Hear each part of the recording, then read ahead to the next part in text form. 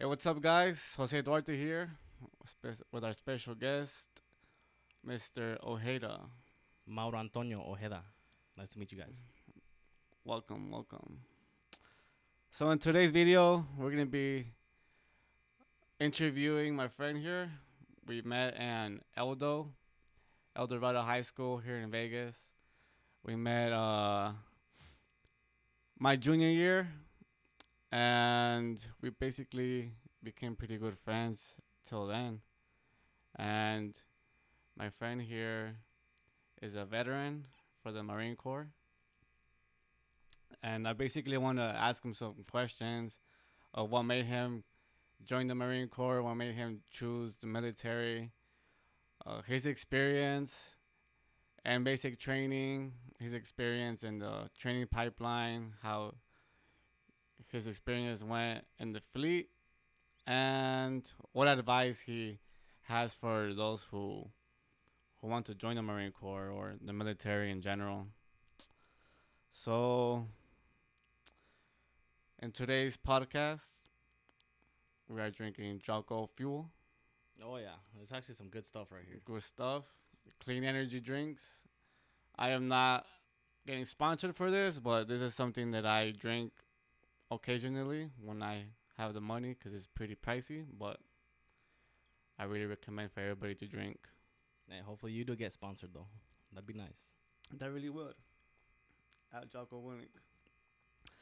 So yeah, man. So let's get started with what made you choose the Marine Corps. it's funny because uh, first movie I ever watched as a, as a kid that was military related was Major Payne. I don't know if you've ever watched that. I do. Yeah, and like that's kind of what introduced me what uh to what the military was like, or what ROTC was gonna be like. and I, I, I always had that mindset. I always wanted to be a part of ROTC, and I just I like the way that like they all came together to like, like as brothers. You know, they like as brothers to just like Just little kids. do anything. And I thought it was badass seeing the training and like getting yelled at. I was like, oh, I want to get yelled at like that. Pretty cool. But I mean, Major Payne is not really like. It's it's a comedy, bro. But I also Yeah. saw like, like, I also grew up like just watching like uh Saving Private Ryan and like a bunch of other like war movies, and I was like, dude, these men are out there like, you know, actually like doing some badass shit. And I was expecting wanna you to say that. like freaking Full Metal Jacket. nah, I didn't I didn't watch that till like. I was like 18. I think it was like Oh, post Marine. Corps. I actually watched that one. And I was like, wow, that's actually like, that's like legit. no, actually, I did watch it when I was like 15. I do remember now, and I'm like, wow, that's what I'm gonna get myself into. Like, that's what boot camp is like. It was, it was mainly that that boot camp scene that I watched. Mm-hmm. It wasn't the entire movie. It- I didn't watch the entire movie till like afterwards. But yeah, like just seeing these dudes like just out there doing like some badass shit. I just had so much respect for them, and I'm like, dude, I want to do something like that. You know, be a badass. How old were you when you when you saw that, or when you decided to? Uh, when I actually decided I'm gonna join the Marine Corps, I was uh I was a junior in high school because I was still debating on whether it was gonna be uh whether I was gonna join the Navy Mm-hmm. or the Air Force because I knew we had an Air Force base here, and I got really interested in uh aviation because uh that one ROTC trip that we took to oh yeah, to San Diego. yeah to San Diego to see the the Blue Angels I think, then I was like wow I want to be a pilot, but my dumbass didn't go in as a pilot. Don't you have to join the officer? Yeah, you have to be an officer for that. I found that out the hard way. Um, next best choice would have been air crew, which I kind of regret not being air crew because some badass stuff. You shoot machine guns out the back of of a helicopter or like any kind of aircraft, and it's pretty cool. Like, Didn't you want to do a combat aviation, something like that? um, originally I wanted to be like the second. I wanted to be like the weapons operator for uh like F-16s, F-18s. But yeah, officer, and I'm like, nah, I don't have time. I don't have the money to go to college, so might as well just Mm. uh, join enlisted and do something aviation. And I chose aircraft mechanic. So you made that choice in junior year. Yeah, That's when yeah. we met. that's when I was. Uh, that's when I got sworn in. Uh, like the end of junior year was the summer, going to senior year. I got sworn in. I was already in the the late entry program, and pretty much Shit. like I, I was already on track to join the Marines. Junior year was my year to actually decide on what I was gonna do, and then I finally made that decision end of junior year. And how was your conversation when you brought it to your parents? Uh, honestly, they supported it. They were like, "Whatever you want to do, mijo, as long as you don't do drugs." And I was like, "Okay, well." I know. I actually never did drugs when I was younger. what about your mom? How was she? Uh, she was scared at first, honestly, but she saw that this is what I really wanted to do, so she was okay with it. She was like, "All right, uh, like I'll sign your paperwork, like." Cause I had to get a waiver because I was like I think 16 or 17, like Mhm. 16, about to turn 17 at the time, You need a waiver from Yeah. your parents. and they both supported it. They were like, "All right, this is what you want to do. Go ahead." Yeah. I mean, I remember you were pretty fit in high school too, in your senior year. Yeah, and, And freaking, because we we did that after school with RTC, and sometimes we had to like do some physical stuff. And I remember you would like outrun me, and I was pretty fit too. yeah, you were pretty- taller too, and you were like you were way more fit. fit than I was. I was still kind of a little chubby, like nah, like as a pudge. my body would like probably look better. Like you were more like chubby, but you could outrun me. You could like outwork me too. So like I was pretty surprised. Like you were ready. I'm pretty sure the delayed entry program. Like, yeah. Like I did not start actually getting dedicated to like working out and loving fitness until. I actually started going to the recruiting office once a week and just Mm-hmm. ever since then like on my off time I would just start training like I would work out I have friends like ROTC guys I'd always take you guys out to like Yeah. PT I joined the physical fitness team uh I started going to the gym with my friend when he was going to East Tech there was like a once a week gym club Oh damn. and uh yeah i just started getting like big into fitness and i never really felt like i was uh like i, I didn't know what i was doing i just worked out you know i, just, I ran i just did this i like whatever and You just did whatever look look cool. yeah dude like i was out there like all motivated screaming cadences and stuff i created my own cadence remember that one with like major hook Yeah, Major Hook. Shout out to Major Hook. yeah you're the best Freaking um. Well, it's because a lot of people they ask, "Oh, what should I do before I go? What should I work on?" And something I work, I found out that like if you want to join the Marine Corps, you have the delayed entry program, and that's a start, right? Like for those who want to join, yeah like that's a start. Your recruiter, if you actually want to do better in your PFT, your recruiter is gonna help you out if you actually ask him. He's gonna put you to work, and also the DEP pro or the DEP is gonna help you out to better your running, your pull ups, and right now we have planks. We don't have crunches no more. I thought it Um, was optional wasn't it optional It's not that, like- optional no more. It's planks. what hey dude marine corps is constantly changing The Yeah, military's I hate it. changing. I hate it. I hate planks. I Jeez. I prefer crunches more. 'cause I Planks, suck at planks. yeah that's, that's, that's horrible right there I suck at planks, but I still train. I still do planks and try to get better every time. And so once that uh that date, because I know you graduated high school, and then then you had to ship out like two weeks after. I had about one full week, and uh, as soon as I graduated, like my, I went to my graduation and walked across the stage. Now I had a had a flight set to Mexico to say bye to like the rest of Mhm. my family because I knew while in the Marines, I wasn't gonna be able to travel back to Mexico for like till I get out. And so I just went there for about five days, uh, said bye to everyone, and then came back for two days, and then I shipped out. Literally like seven, eight days, I think, after graduation. Damn. And how was, like, were you pretty nervous or anxious? Oh yeah, no, I was. If anything, I was nervous. Like while I was in Mexico, I was enjoying the time of my life. I was like, every second of this trip is gonna count because I'm not gonna be this happy or this free for a while. yeah. yeah, but it, was definitely it was worth it. Like I got to say bye to just about my entire family back there. Oh yeah. And where where did you go for ma- MEPS?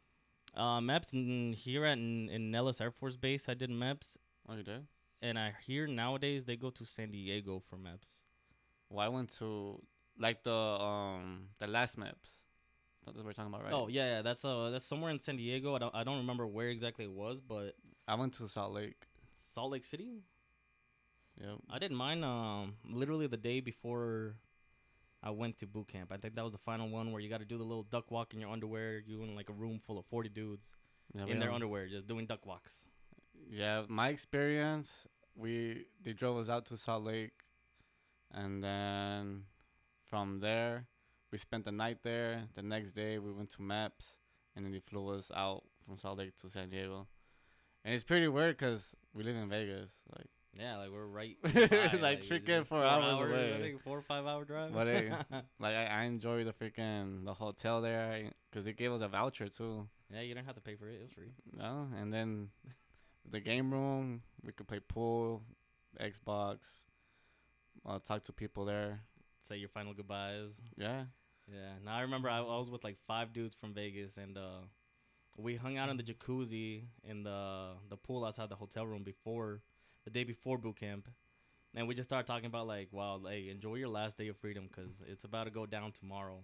And I, I remember. I just could not sleep that night, and I I think I fell asleep at around maybe one in the morning, yeah, and I was I was just nervous the whole time. Woke up like just a few hours later yeah. to someone knocking on the door like, "Hey, it's time to go. It's time to go." And I'm like, "All right, mindset. This is it. You're about to go to boot camp. Like, get ready." Well, when did you join? 2014, right?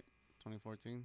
2014 is when I went to boot camp, June Mhm. of 2014. But uh, the late entry program was Mhm. July of 2013. Yeah. So the the Marine Corps is way different than it was now. Yeah, a lot of a lot of things change up.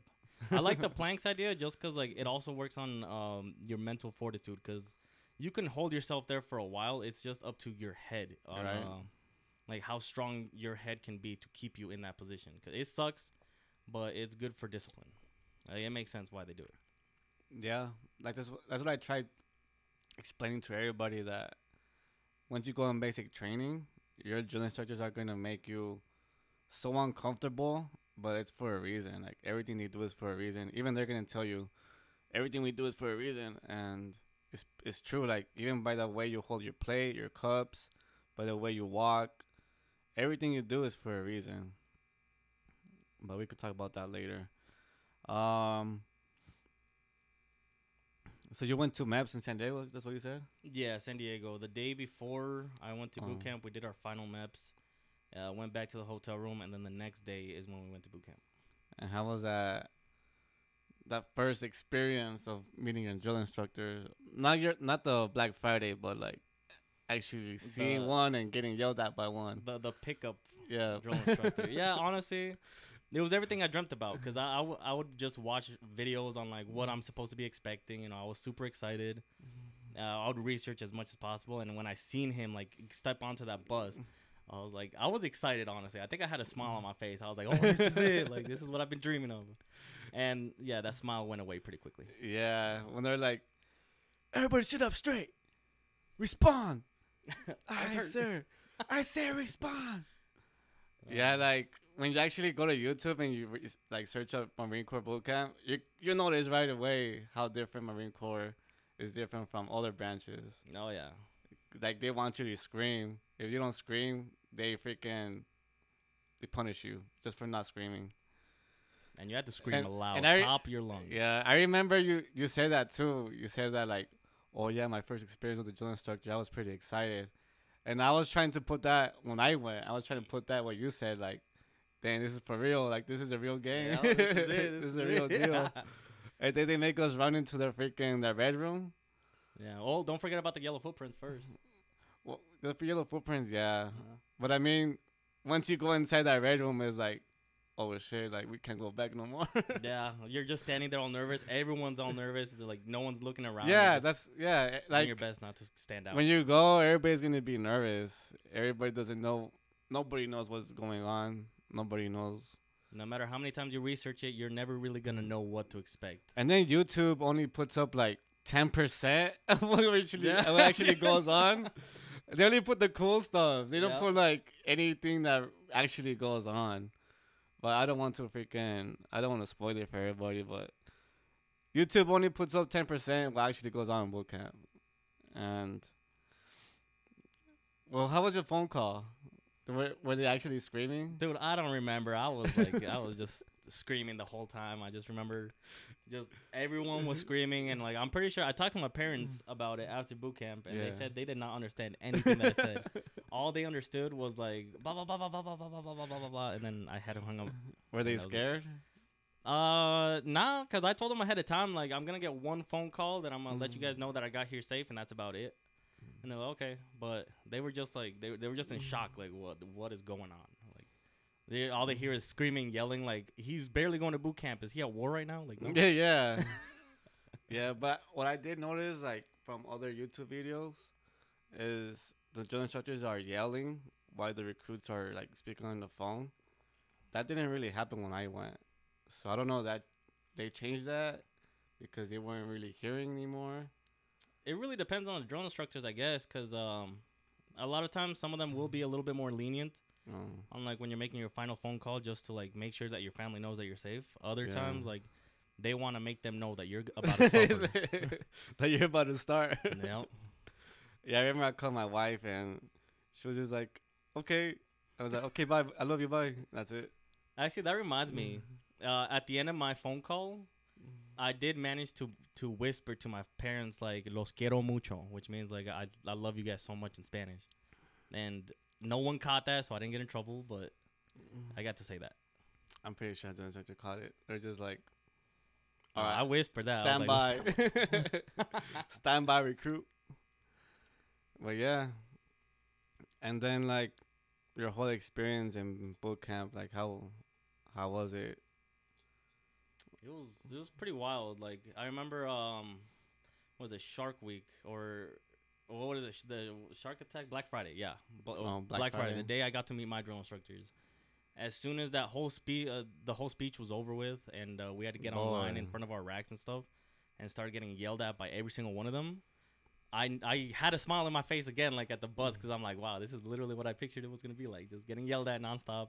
I did get caught for smiling, which was not a good idea. Luckily, I wasn't able to uh, get IT'd just yet. We had to get the training on what IT was first, Mm. so they couldn't IT me. oh yeah, that's right.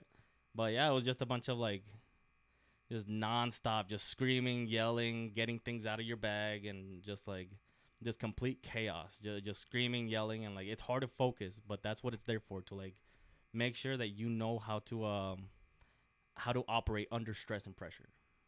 Correct.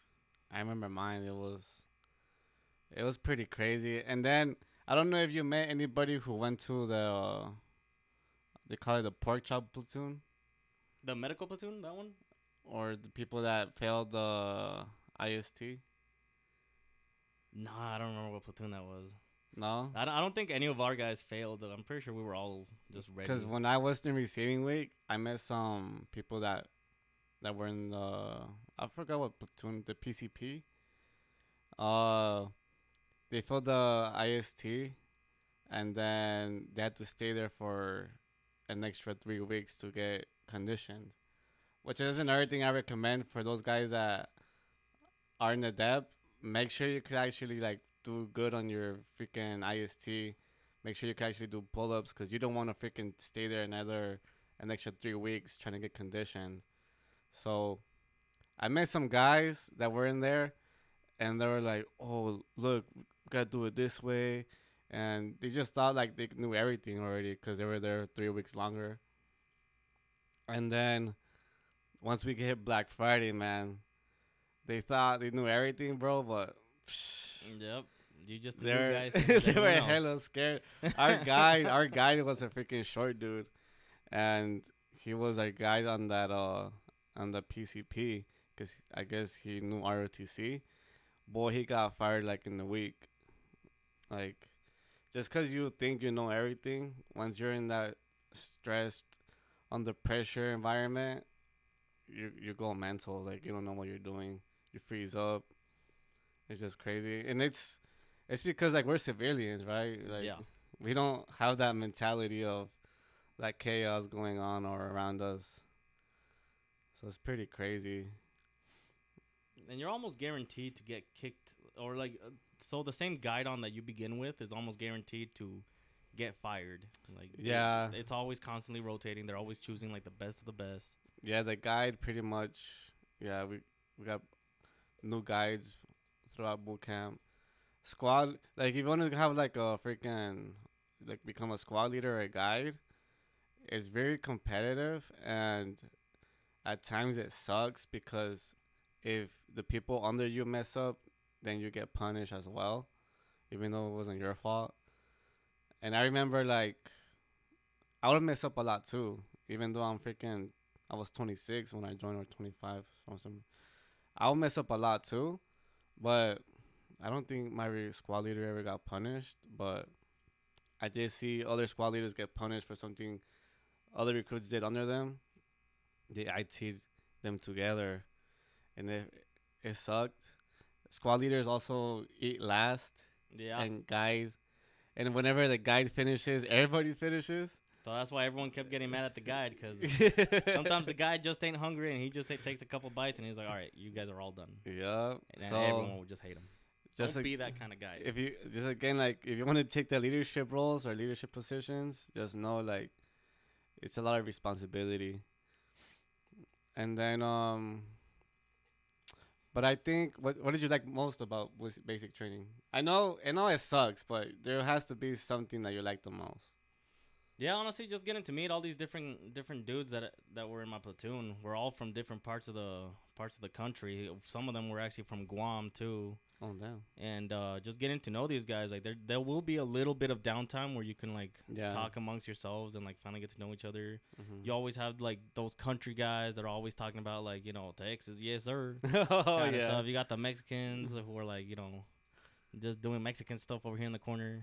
yeah, that's what's cool about the military too. Is like Yeah. everybody, like you get other parts of the country, even from other countries as well.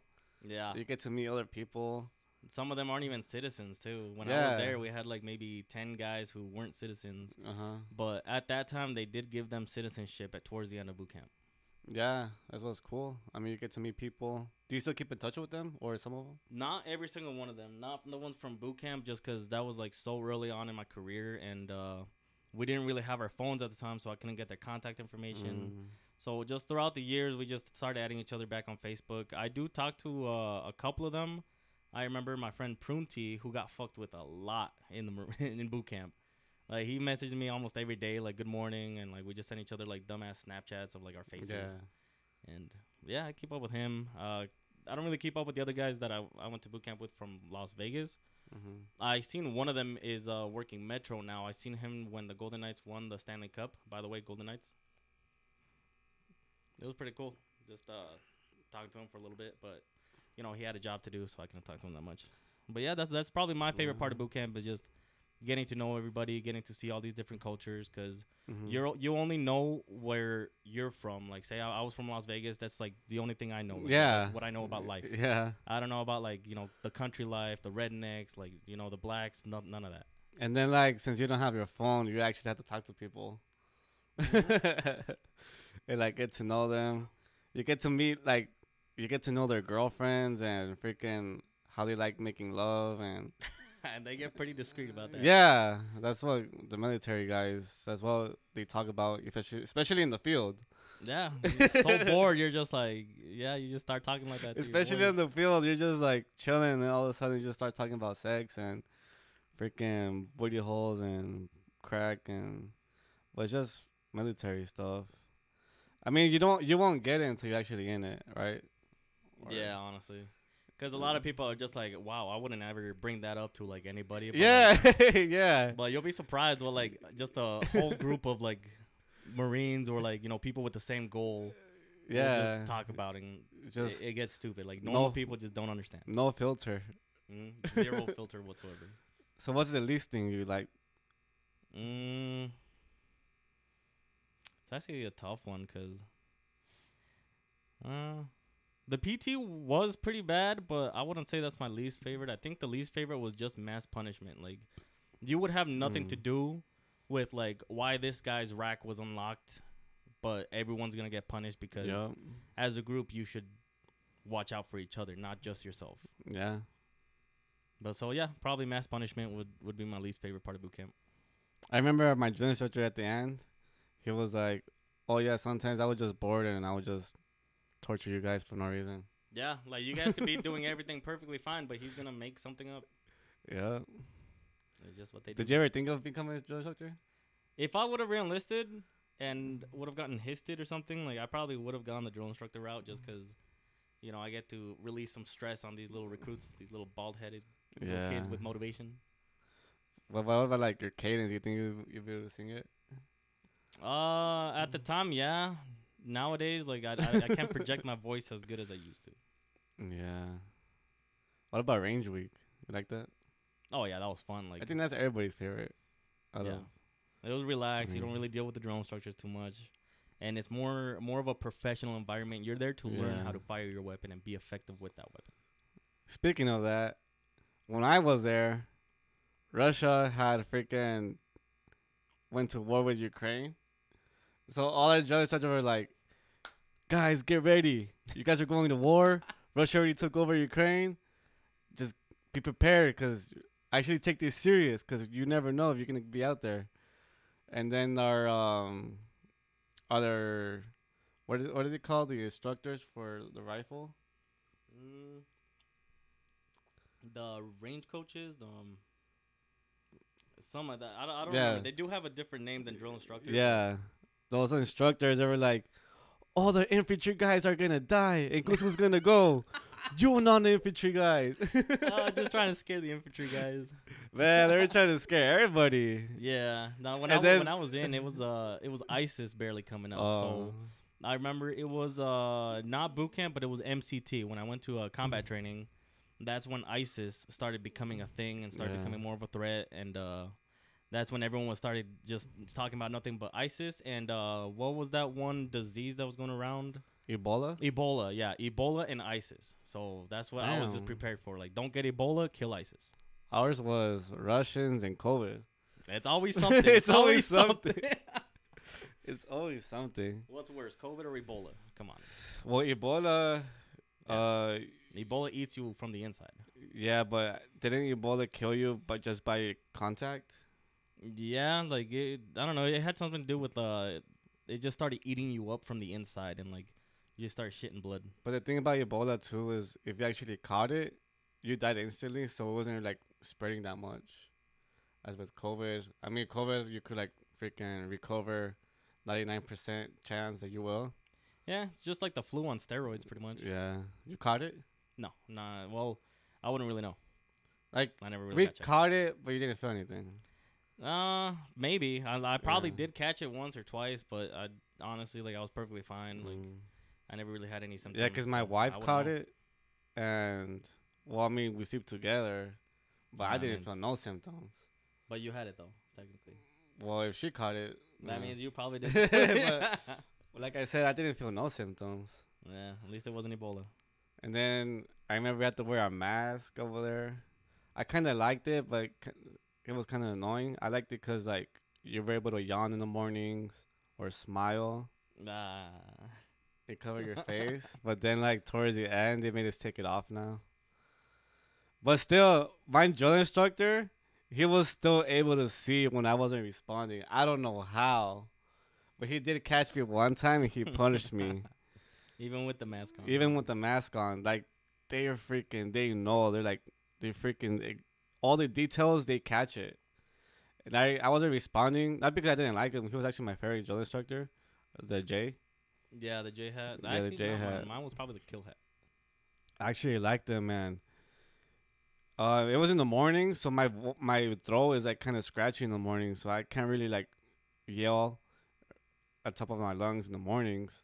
So I wasn't really responding, and I was doing, you know how we do our beds every morning. Yeah. Yeah, so We we're like, doing what, our our 500 seconds to get all that stuff done. 500 drill instructor seconds, which is like Yeah, actually is like, like- 60 seconds. Yeah, maybe less too. Depends how fast they can count. and then freaking, he went up to me. He was like, Duarte, why aren't you responding? I sir. He's like, bitch. Whenever I say something, you respond. Get in the deck. I was like, shoot, bro. Finally caught you. like he, even though I was wearing my mask, he he caught me, man. So, like they they're pretty good at what they do. Like they're professionals, and you won't you won't get it. I mean, you you will get away from some stuff, but not everything. They will catch you, yeah. and I know when you got out, when you graduated, I I got to see you. Yeah, I went back to uh You were- to a high school and You were hella skinny. oh yeah, it's a lot of running and not a lot of getting fed. Like I'd probably just eat like a little bit of rice and that's about it. Well, I mean, and freaking and MCRD, you do get to eat a lot, right? Or I don't know how you how you get you. guaranteed three days or three meals a day. That that's for sure. But uh, because I was one of the little chubby Mexicans. Like the drill instructors would always, Oh, You got you the know, special treatment. yeah, they would, they would check me out. They'd be like, "You better not be eating that ice cream." And, Oh, like, no. I would not. I would not get ice cream. No, any cookies or ice cream that was like prohibited unless unless they weren't there and it was just a senior drill instructor. Senior drill instructors are always chill compared to other compared to the ones below him. But Just don't Eh. piss him off. yeah, don't piss him off because they still have that drill instructor vibe in them. And but yeah, when I was there, I was able to like you still get your freaking 100 seconds or 200 seconds to eat. You still got to eat quick, but I remember I would get like freaking three loaves of bread and chug that or dip it in water Yep. and just Do eat. whatever to just get Yeah. it all down your system. Like, Yeah, Don't like- even get to taste it. Just just get it down there. Especially like if you're worried about carbs, don't worry about carbs in there because you're gonna burn it hella quick. You probably need some carbs up there. Yeah. If you don't have carbs, you're gonna pass out. So like when I was there, I would eat like a lot of bread, especially like for dinner, cause when it was night, I would get hungry. Yep. Any of your guys ever get caught with peanut butter packets? Oh, one guy. There was one guy that got caught with like food. He was a tall ass dude. He was like from over there, from I don't know what part of the country, but he he looked like he was like one of those country dudes. He was pretty On the East big. Coast, probably. And yeah, and he freaking he would always get caught with food, and then at the end he would tell us that he would go dumpster diving for MREs. what? Yeah, that guy was special, man. Wow. Any platoon terrorist? Uh, there was there was a few that the drill instructors would try to pin as the platoon terrorist, so everyone would just hate him. There was this guy named Singletary. He was a great kid, like a good guy, but for some reason, like because he was like small in figure, like everything would always be Singletary's fault. Yeah. So, you know, poor guy. He made it through, you know, tough ass dude, but like, yeah, he was like, he'd always be the reason why we'd get in trouble. yeah, don't be a platoon terrorist, guys. Whatever you do. So, graduating boot camp. How was that like? How was family day or? Oh man. So I I I distinctly remember as soon as they released us for Family Day, just I, I felt like everything just went quiet out of nowhere, and I, I was just looking around like, what is going on? Everyone's just running, and then I just see my sister from like the distance between people like hugging and finally seeing their family. And she was the first person to come running up to me and uh, give me a hug. And like as as I was hugging her, I was just like, "This wasn't real. Like it's just a dream, you know. Yeah, like I'm feels- just you know, I'm I'm out of the simulation now, and I'm just like, what is going on? I'm not used to this. But yeah, it, it was a great feeling. Like the proudest moment I've ever had in my life was uh, like family day and graduation day. I've never been that proud in my life. It felt great. They, they everybody tell you like, dang, you look skinny. Yeah, everyone. Because uh, I actually got the nickname Chicken Nugget in boot camp because I looked like a Chicken little chicken nugget. but the thing is, like, there was another chubby Mexican that kind of Um. looked like me, I guess, and uh, eventually he became Chicken Nugget because they forgot who was who. Oh, okay. Yeah. And well, yeah, like- because everybody's bald there too. So yeah, everyone's bald looked the same. we all look the We're same. all brown and tanned because like being out in the sun all day. Yeah. And then your ten day leave. You do anything crazy? Mm, I went to like a like a music festival. The first thing I did as soon as I graduated was uh, I went to In and Out and got myself a a four x four animal style, and Hell I yeah. ate that shit within like one minute. Like I was I, I was still used to just eating super Super fast. so I was just done, and like everyone was still like on their second bite, third bite, and I was like, come on guys, like. Let's go, because I'm trying to Let's go back go. to Vegas and like we're driving it. We're trying to drill here. People could die if you don't eat fast. People could die. Yeah, but no, other than that, like uh, yeah, I went to In and Out first, went back to Vegas, and just started hanging out with all the boys. Uh, my best friend JJ was still in still in boot camp because he went three weeks after I did. So you know, I just I just made the best best of it. Said hi to all my friends. Uh, said what's up to my family. Everyone kept saying that wow, this dude is so skinny. Cause yeah, well, I was a chicken nugget, and now I was a Yeah. I was a chicken tender. yeah. They, we got to hang out on your ten day leave too, right? Yeah, a little bit. Uh, I did go to El Dorado to to say what's up to the RTC gang. I wore my dress blues. I think I did not put my medal on. Damn. and only oh, one person caught it. You remember Berkeley? I think so. Yeah, I he, he saw a so. picture someone posted, and he's like, "Hey, where's your medal?" And I'm like, "Oh, that boot. yeah." But I mean, hey, that was my first time ever putting on dress blues. Well, besides when we were mm. changing into them. Yeah, I didn't wear it because I didn't know how to wear it. I didn't know how to put that that belt, so I was like, I'm not gonna wear it. Yeah, that was probably my favorite part of the uniform is the belt, like where it sat. It was just super comfy and made me feel slim. Yeah, Best uniform ever. Just saying. it really is. Yeah, that's probably another big reason why I joined the Marines out of all the other branches. Mm. Dress blues, ladies love them. It's a lady magnet. So what about MCT? You like MCT? MCT, I actually loved. I hated the hike. To Oh, the hike. to uh, what was it called? That little mountain range where we start doing all our shooting, night shoots, and like throw grenades, all that stuff. I that that hike there, and the hike back. I I just hated that. I was already tired from all the hiking boot camp.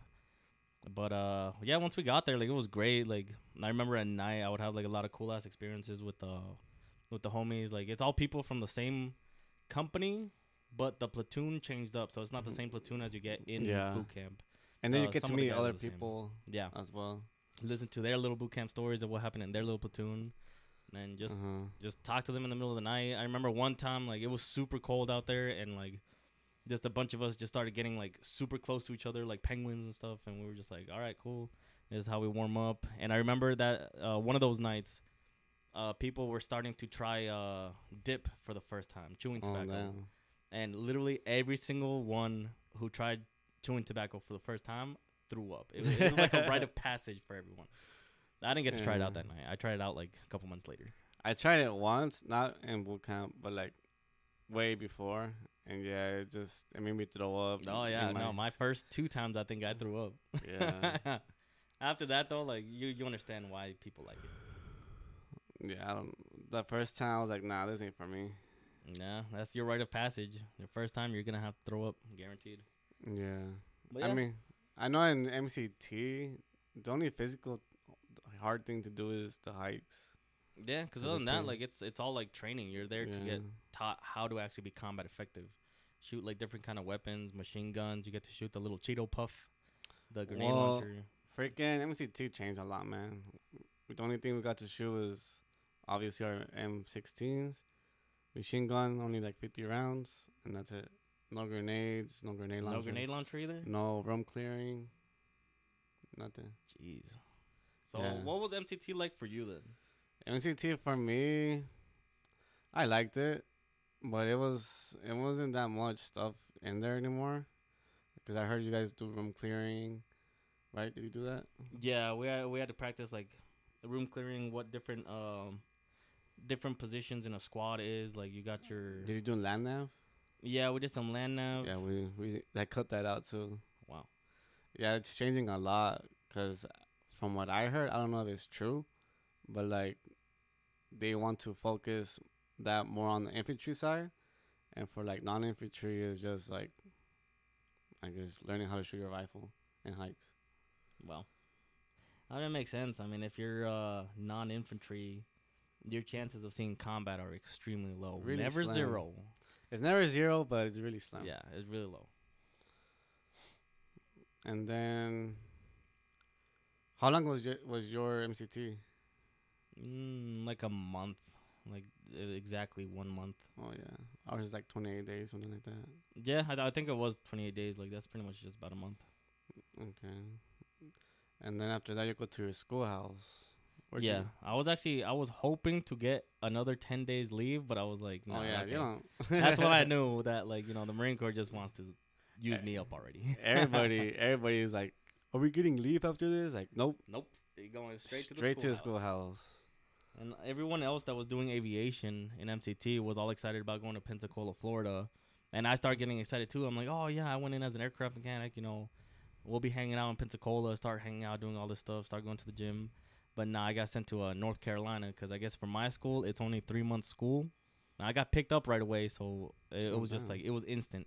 And I hit the fleet literally like maybe six months after I graduated boot camp. You were stationed in North Carolina. Yep. I like as soon as I Oh. graduated the schoolhouse, all I did was move across the street.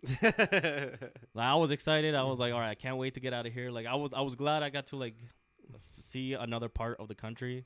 But Yeah. to stay there for my entire enlistment, I was like, nah, this ain't it. Come on. Yeah, the mosquitoes suck. yeah. I mean, you were there your whole life. I mean, not your whole life, but like your whole enlistment. The whole yeah, whole enlistment. I was only there for two weeks, and the mosquitoes sucked. Yeah, yeah. I mean, Humid conditions, like it Yeah. rains a lot. I liked it though. I mean, a lot of great people, a lot of great experiences. Uh, I I know for a fact if I was stationed somewhere else, my whole entire career would have been so much different. It really depends on where they station you, where you like become who you are. yeah, I actually I told my instructor too that I did not want to stay here in North Carolina. I was cool with Japan, send me to Hawaii, California, anywhere but here. But my entire class just had to move across the street. That's it. Damn. Wherever the Marine Corps needs you, right? Yeah, I guess they needed me over there in the East Coast Yeah. just to haze me more. Shoot. Well, here's where like freaking my curiosity is for you, cause you're active. I'm only reserves. So how's it active life like? it's uh, it's definitely high speed, low drag. Like, especially if you're the new guy, just be prepared to just be everyone's bitch. Like that's the easiest way to put it. Like, for me at the time, they would not let me sit down. They wouldn't let me do anything like calm or relaxing. Like I'd always be running everywhere I go. If I gotta go to the bathroom, I gotta be running there and come back. And then if I'm if we're not doing anything, there's not a lot of maintenance going on. I have to have my eyes in the book studying because uh, I will not get respected until I start getting quals, and or maybe go on a deployment. But yeah, it's just high speed, low drag. Like it was uh pretty tough the first like year and a half, first two years. Eventually, once you get your quals, once you know your work, uh, get get cool with everyone, maybe go on a deployment, then it kind of calms down a little bit, and then you become that salty guy who's just like angry at all the little new motivated guys, and you just want to stop them from being motivated, stop them from smiling. Like, hey, if I had to suffer, you gotta suffer. Damn. You're a corporal, no?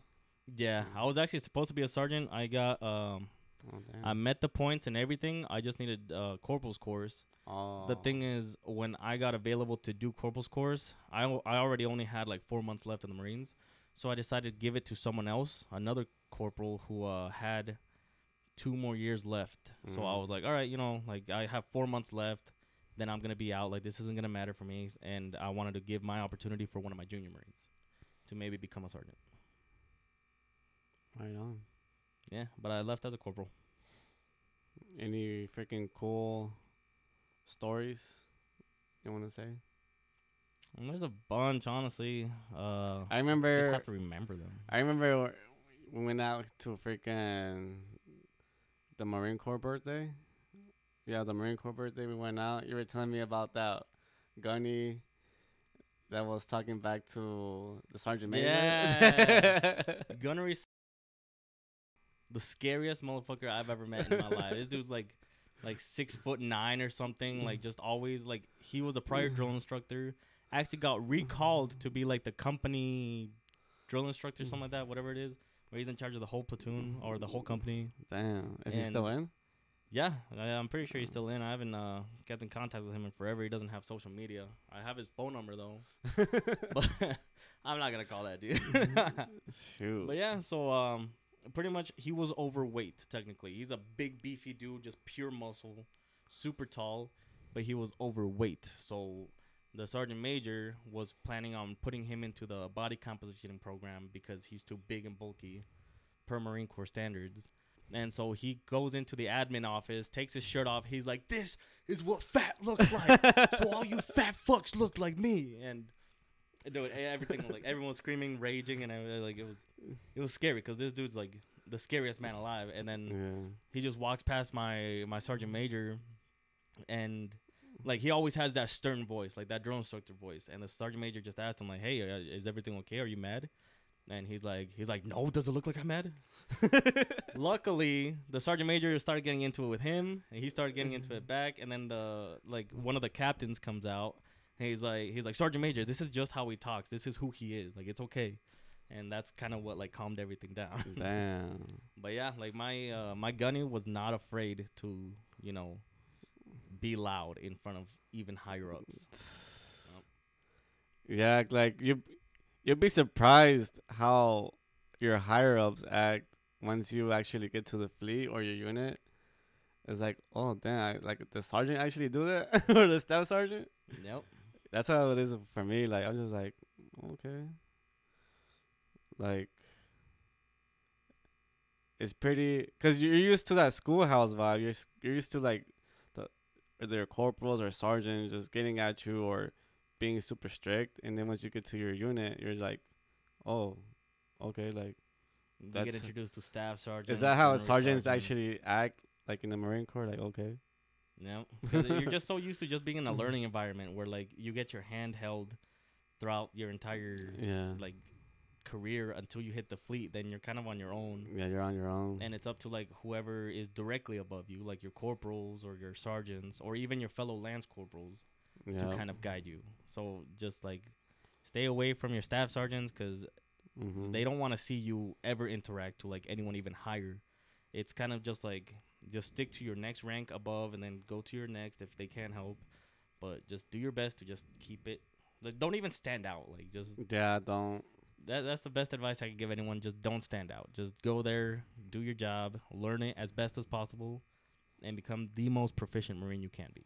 I mean, always ask questions. Yeah, Always. for sure. Always ask questions. always ask your the senior lance corporal or the corporal. Like, don't even speak to the sergeants unless you actually need to. But that's how I am.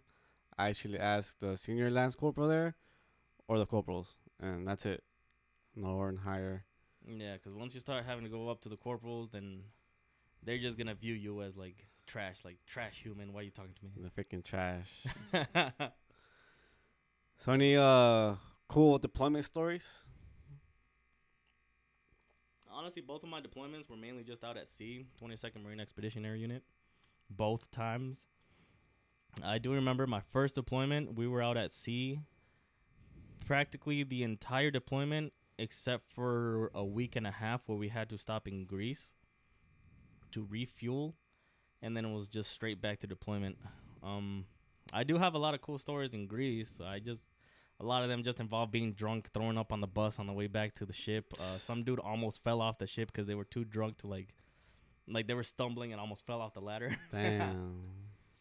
But yeah, that's how uh, that's how my deployment was. Just nothing but straight up at sea, just working. Second deployment was a little bit more wild. I got to go to a lot of places like Oman, uh, Qatar. Uh, I got to go to Dubai for a couple days. That was Mhm. that was an experience. I got to go to that the world's biggest mall. The thing Oh, is, at the time of being in Dubai, most of my friends were married. Uh, I was like one of the only single guys. Still am, by the way. Just saying. but yeah, they couldn't spend money, and I was I was just ready to go. Like, let's go to the water park. Let's go do this. Like all this cool stuff that Dubai has to offer. Is it pretty expensive in Dubai? It's uh yeah, it's pretty expensive. Like uh what what things cost here, but like maybe ten dollars extra. If you Mm. want to buy like a new pair of shoes, it's uh, like probably ten dollars more than what you would spend here. But like, say like water parks or any entertainment.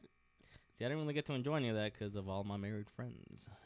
Damn. But I'm pretty sure it would have been expen- uh, it, pretty expensive. Yeah.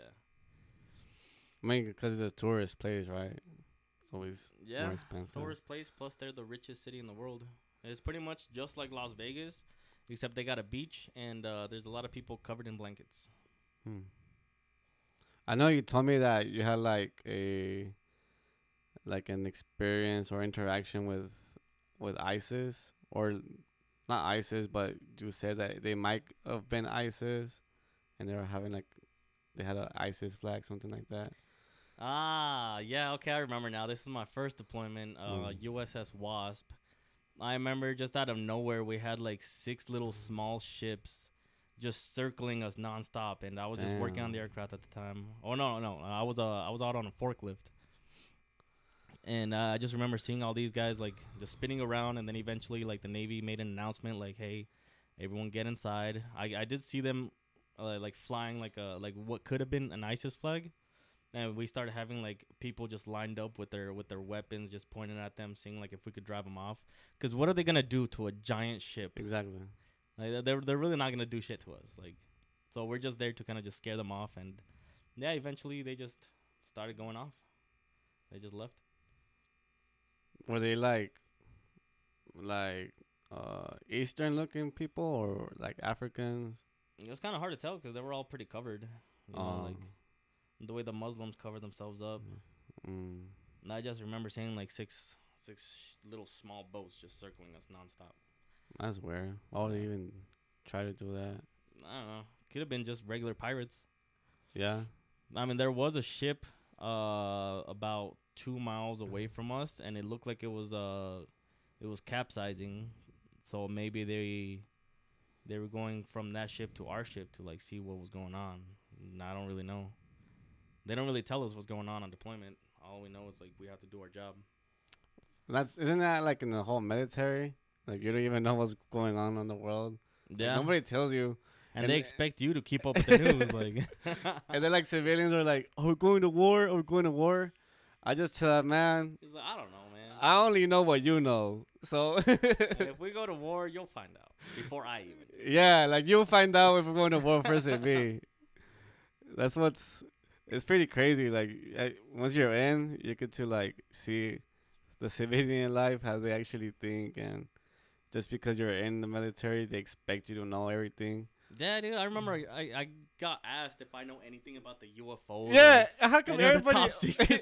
why does everybody always ask that? bro? Because they expect us because we work for the government to know. Like, like they're gonna tell some like fresh out of high school little marine, Right? Like, I think you need like freaking top secret clearance, and, and, even a, though, and a need to know. and even you though, can have like, top secret, and they still g- ain't gonna tell you. yeah, I don't even think any uh special operation people know. nah, like SEALs don't even know what's going on with the UFOs. Nah, unless you're like in the freaking aircraft and flying, Then you see one. and you see one. Cause I did hear stories. Yeah, no. Uh, like if you work night shift, which I do work night shift on on deployments, that's usually what I what I work. Uh, you do see a bunch of like, like most of the time they're just like shooting stars or something. You're in the middle of the ocean. There's like no pollution. You could see clearly just about everything in the sky. Most beautiful thing ever. And yeah, you could see like what could be a UFO or something, just like a flashing light, like stopping near you, and then like just zooming off, and you're just like, dude, what the hell is that? And like no one talks about it. Like it's just like, yeah, did you see that? Yeah, I did. UFOs? Yeah, cool. Why do you think nobody talks about it? though? Cause they're they're scared, or they just Nah, don't want to believe. It's just cause like, if we talk about UFOs, then like. I don't know. I, I guess people like just don't take it serious anymore. Yeah, at least they- not in the military. Like, or they think be like, "Oh, you're just crazy, man." Like, Yeah, cause like I I do remember uh there was uh, one other marine with me and he's like, dude, imagine like if we could drink with them or imagine fucking an alien and I'm like, dude, that'd be wild. God damn, man. Yeah, like the military, like especially the lower ranks, like we don't really take a lot of shit serious. Like we the just, Lance Corporals, man. yeah, we just fuck around with each other the whole time. Cause you kind of have to, don't you? Yeah, that's the only way you can get through what you're doing. Is yeah, just like, you kind of have to like mess around, or else you would just go crazy. hmm can't be serious all the time. yeah, you can't be serious all the time. everyone has a personality. The thing is, like in the military, a lot of people have that like hive mindset, pretty much, because we all have one purpose, one goal. So you kind of you kind of see everyone else as kind of just like being a part of that hive. Right. That's all it is. I mean, obviously, like be professional, complete the mission. Be like, when it comes to work, do the work. But when it comes to like actually have some downtime, like that's when you could actually like mess around and say dumb crap. Yep. And that's the best part of the military too. Is the downtime. man, I know, I know. Motor T gets a lot of downtime. yeah, I know a lot of people actually. It's either usually infantry or motor T that they join. Motor T is a really popular MOS. Yeah. I don't really know much about it. I was uh, I don't really know much about the ground side. I know I just mainly know the aviation side. Yeah, same here. I just, I mean, I'm only reserves, but the Motor T usually, uh, what do you say? They help out the infantry, Yeah. so we get to hang out with a lot of them. and it's pretty, like, how can I say this? I don't want to say like they're weird, because they probably think we're weird too, because they probably think like, oh, these freaking wannabe grunts over here. But then at the same time, like we're we're interested. We're interested in learning their tactics too, and some of them are pretty chill, like to actually teach us. And then like, other show us their- salty, like, man, get out of here. You don't have it Yeah. as bad as we do. That's like, I really hope there's actually like people that change their attitude when it comes to that, cause like, I'm pretty sure some grunts want to learn some Motor T stuff, and Motor T people want to learn some grunt stuff. Like, I I get not scared, but like I don't really like try to approach somebody who's infantry, because I don't want to make make made fun of or like just get treated like whatever. Yeah, the, I, I feel like the infantry and the Marine Corps is just a whole different, Yeah. whole different world to themselves. And Yeah. they hate everyone who is not infantry. Anybody, doesn't matter who you are, they will hate you. No, but like I said, there's actually like some grunts that actually like they actually welcome people that ask questions and they want to learn. Because when I was in my annual training, um, some infantry guys they actually asked some Motor T people like, "Hey, do you guys want to go out on the patrol for, with us? Like, learn how to patrol?" And I was the first one to volunteer. Oh, easily, dude. I would. Hell yeah. yeah. Yeah, like actually, like I I enjoyed actually going out and patrol, like learning their tactics, basically like MCT stuff, basic basic patrols. It wasn't that crazy, but getting that experience to actually go out with them was pretty cool, and they actually like enjoyed teaching us. So I actually like wish more people were like act like that, but they actually invited us because they saw how we were actually serious when it comes to our jobs and we're professional. So that's why they invited us. So if you're actually a professional in what you do, you take it serious and you look serious, they're gonna get that interest in you and welcome welcome you with them. And it's vice versa too. Yeah, because there is a lot of hate as well in between the branches, between jobs, MOSs, and stuff. So, yeah, just stick to those who are professional and actually like want to teach you, not Yeah. those who just have like an ego. Exactly. And I know, like, uh, when I was in my island training too, this one guy approached the the combat medic, and he just asked him, "Hey, can I learn how to how to use a needle or like take out blood or something?" He was like, "Yeah, like pretty chill." and they actually like put a needle on somebody. I but, actually like- learned how to give an IV drunk in Greece. It was, it was my my corpsman buddy. He was my rack mate, and uh, I was I was drunk. Like I I was seeing double and everything. He's like, hey hey hey, you want an IV? And I was like, fuck it, do it. And I just stick my arm out like that, and he does it. I start feeling a little bit more hydrated. I'm like, dude, that was awesome. I just got a drunk IV in Greece. Hell yeah! dude. And then he asked me like, do you want to learn how to do it? And I was like, sure. So I just gave a drunk IV to uh, my corpsman.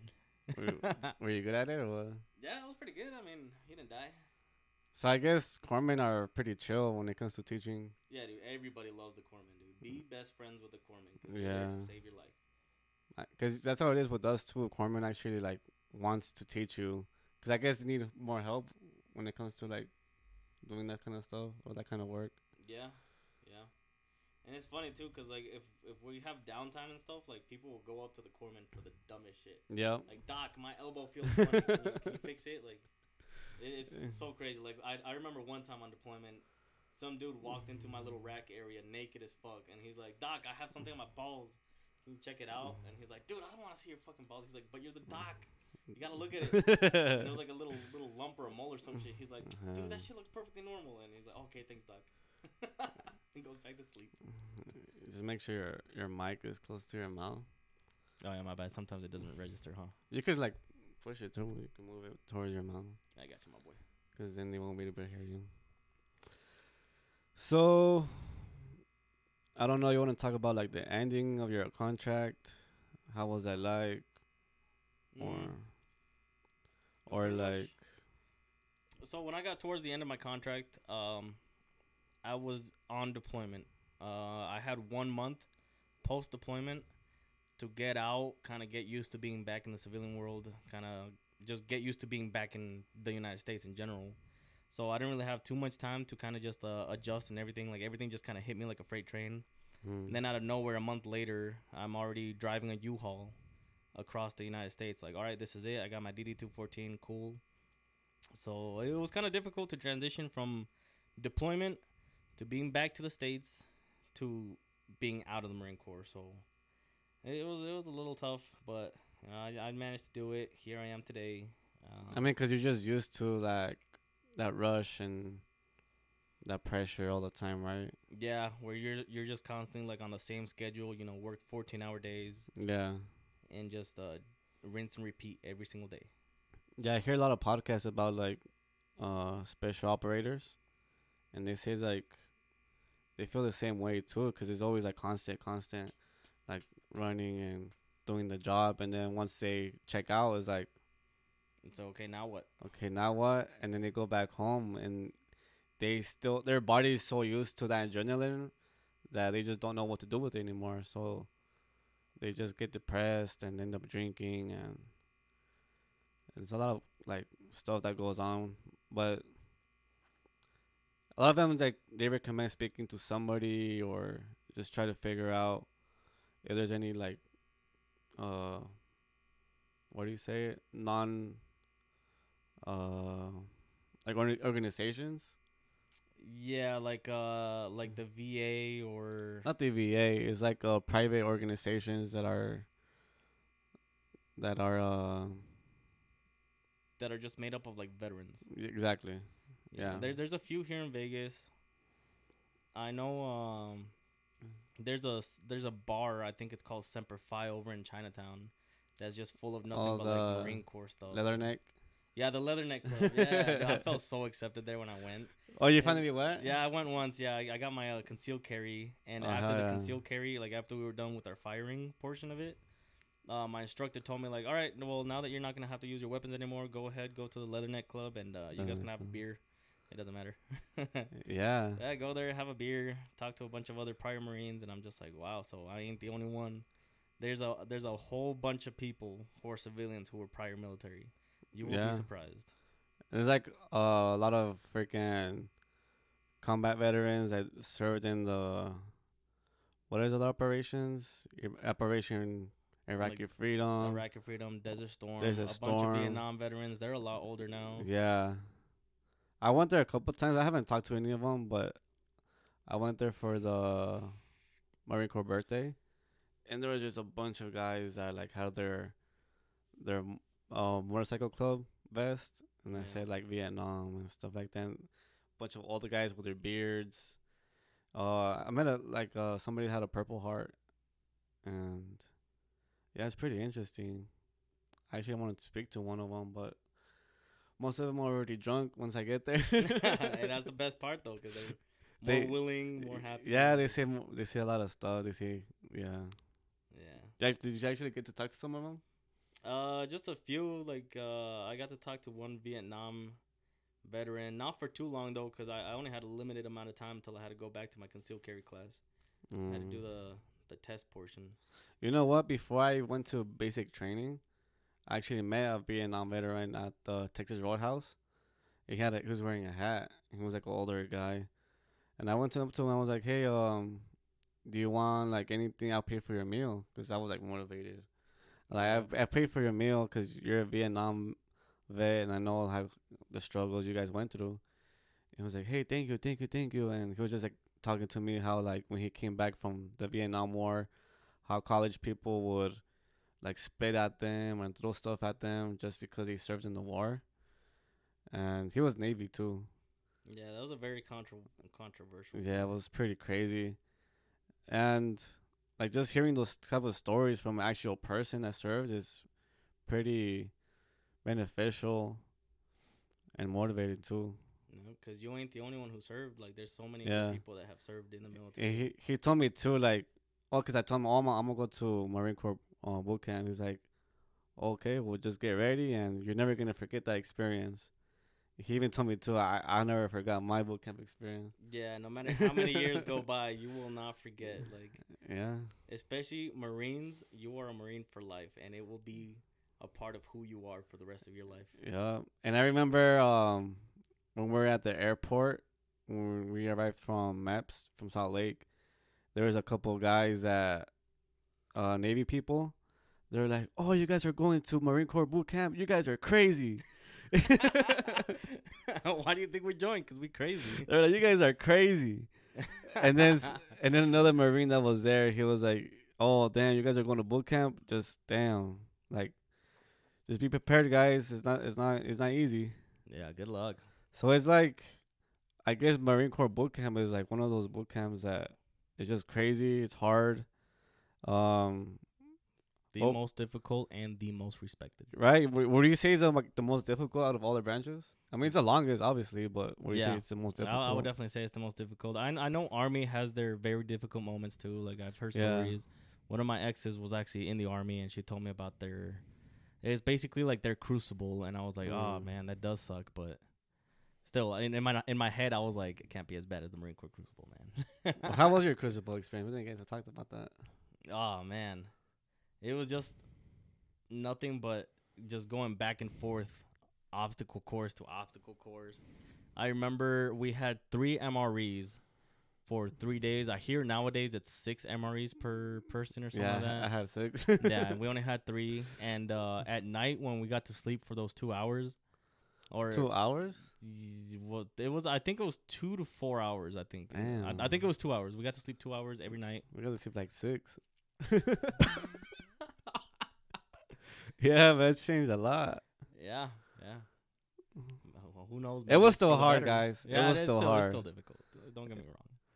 But yeah, we got to sleep for two hours, and within those two hours, like people started stealing other people's MREs, Oh hell started yeah! eating them in the middle of the night. And I remember uh, some of my friends, like all of their food was gone, so I started. I used two of my three MREs to give out to the other guys who were with me who were hungry, Damn. and I survived off of uh, those little cheesy pretzels. I had like oh yeah, um, the, ch- the freaking yeah, I know. Yeah, yeah, the cheesy pretzels. I had like one full meal, which I think was like pork and beans or something like that.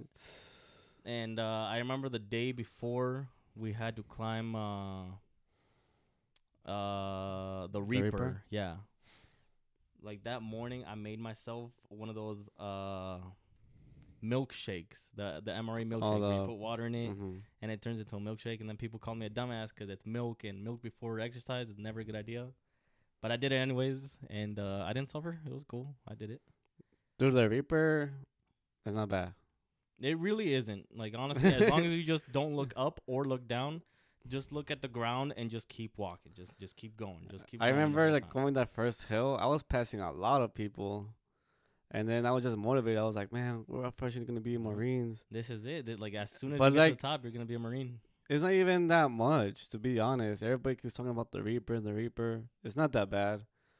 Uh, anything before the Reaper is actually more harder than the Reaper. I think or- the hike back. The hike back, Reaper yeah, was even harder than everything. yeah, the hike back. I actually wanted to quit, but I was like, hey, there's no way.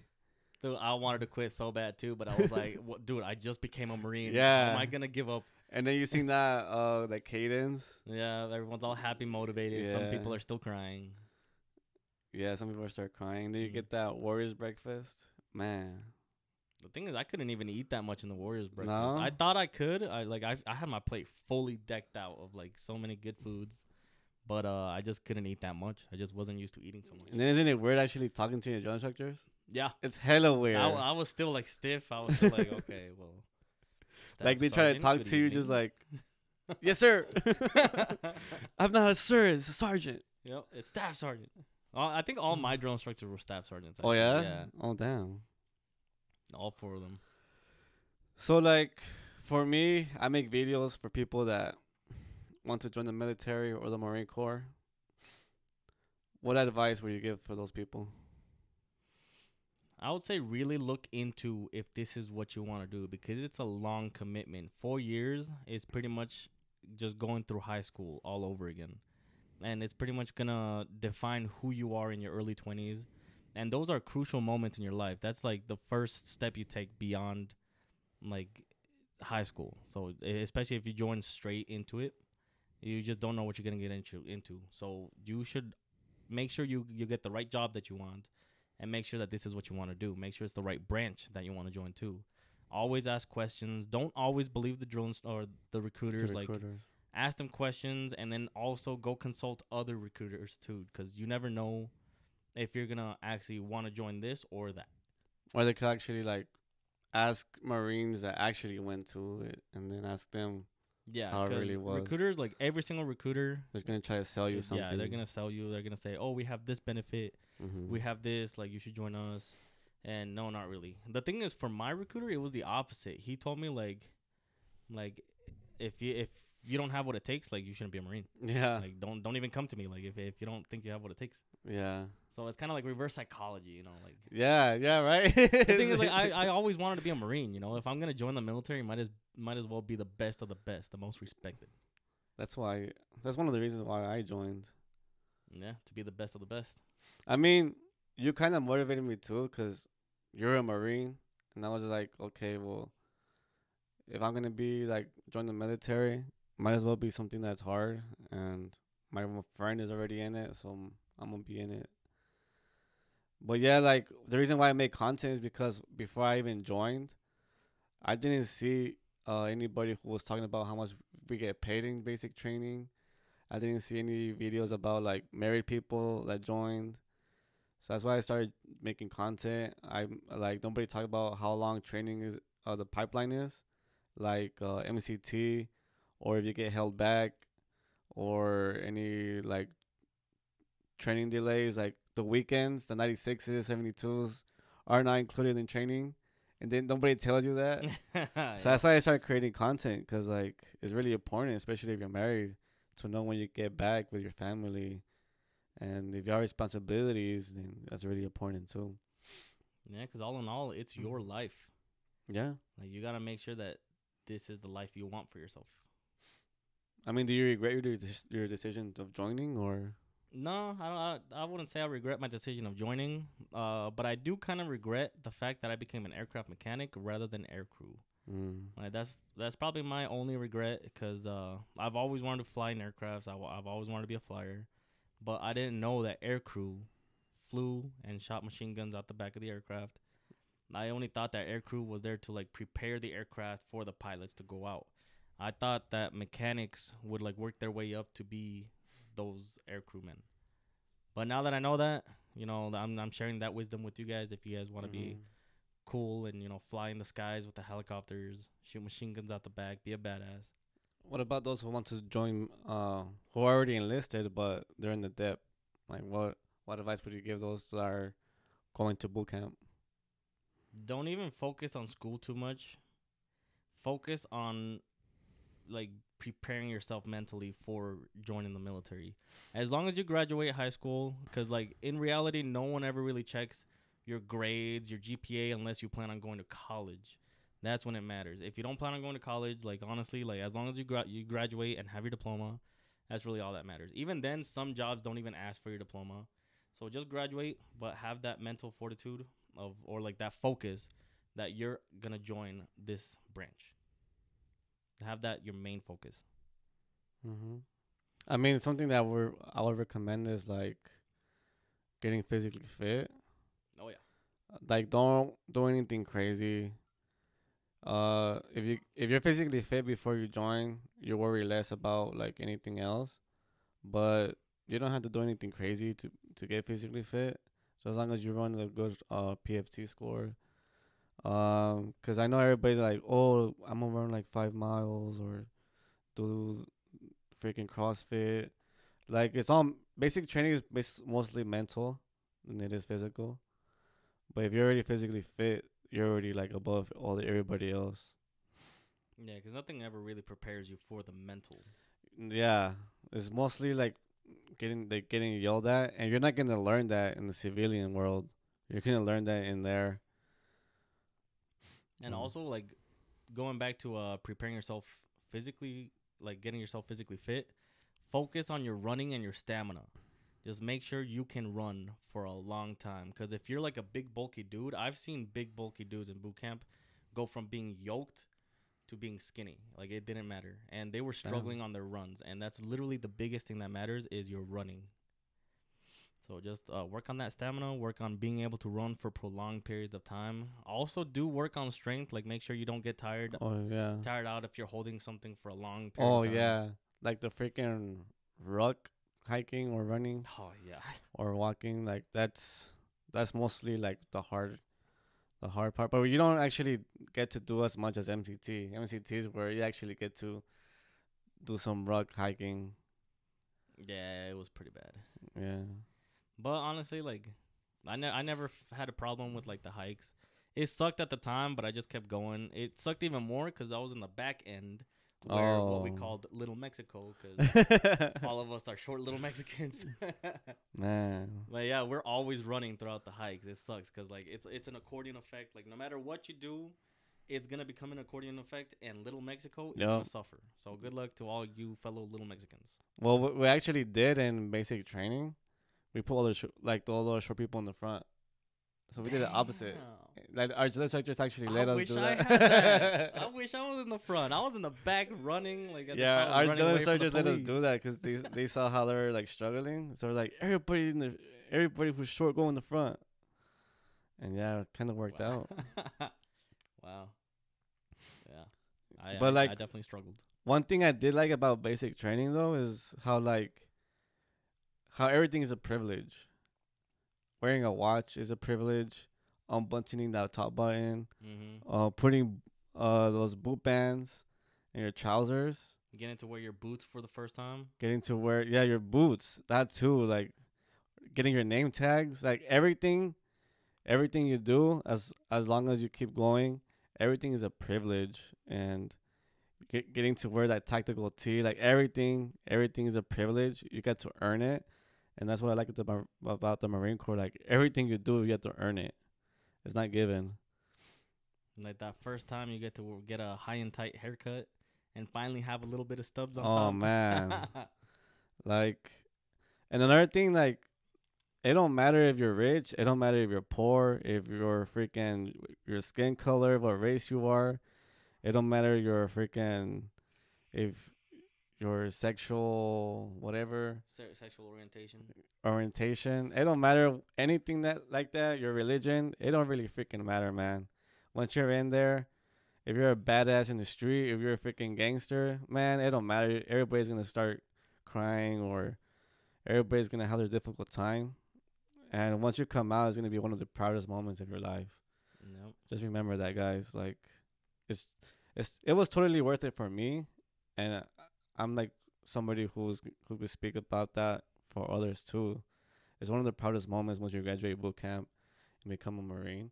Just make sure when you get to the fleet, don't freaking don't stand out on the bad side. Don't don't do anything stupid. Always ask questions if you don't get it. Um, always learn your MOS and just be proficient, right? Yeah. Because I, I did hear the thing is like some people say be yourself in the Marine Corps. Don't be yourself. be a Marine. be a marine. yeah. All right, man. Well, thanks for coming. hey, thanks for inviting me, man. Like this was actually a pretty pretty Yeah. nice podcast. Love the flag in the background. I wish I had one. Very man. motivating. Hell yeah. All right, man. Well, if anybody wants to uh, follow you, what's your Uh, Instagram account or username? it should be I think O J A Y underscore D U H as in O J duh. Oh, Jada. Yep, O Jada. I'll drop that in the description box if it, if that's okay with you. Yeah, I mean I don't really post much. Like, uh, Or like anybody wants to ask you questions too, like that's yeah, yeah. Anyone like feel free to ask me. Like, type it in the comments. I'm sure Jose is gonna let me know too. Yes, sir. All right, man. Well, thank you, and I'll see you guys again next time. Good luck, you guys. Deuces.